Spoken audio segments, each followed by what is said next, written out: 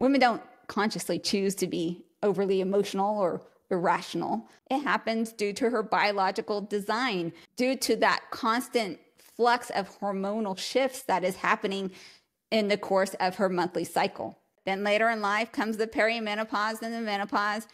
Essentially, a woman's hormones are all over the place during almost her entire life. So, a woman's biology is going to override how much a woman can logic. And these hormonal shifts even impact like what kind of man she is attracted to during the course of the month. Where during the time of ovulation, she starts becoming much more attracted to like super masculine features and qualities, things like that deep voice and uh, that dominant behavior. And then after ovulation, that all flips. And then she starts wanting more of that softer, sweeter, uh, romantic gentleman side to you. And I can speak from personal experience here where like I know that I'm being emotional and irrational and I'll try to like self-soothe and say, Monica, this doesn't make any sense. You just can't override what you're feeling. And so even if we try to calm ourselves down, like there's this internal debate of telling ourselves, well, I shouldn't behave this way, but still feeling upset over something that logically you know you shouldn't even be upset over.